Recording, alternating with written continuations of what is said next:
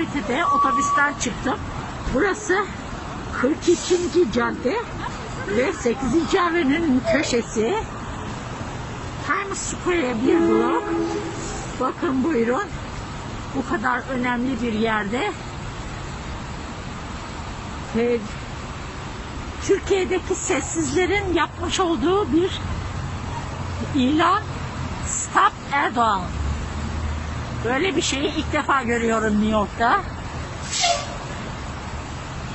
Bunları parasını veren Türkiye'nin sessizleri diye reklamını koymuşlar.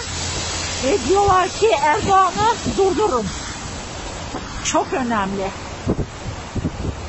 New York tarihinde ben böyle bir şeye ilk defa rastlıyorum. Burada bu ilanı vermek kim bilir kaç paradır. Ama milyonlarca insan kafasını kaldırdığı zaman etrafa ilk gördüğü şey bu Stop Erdoğan.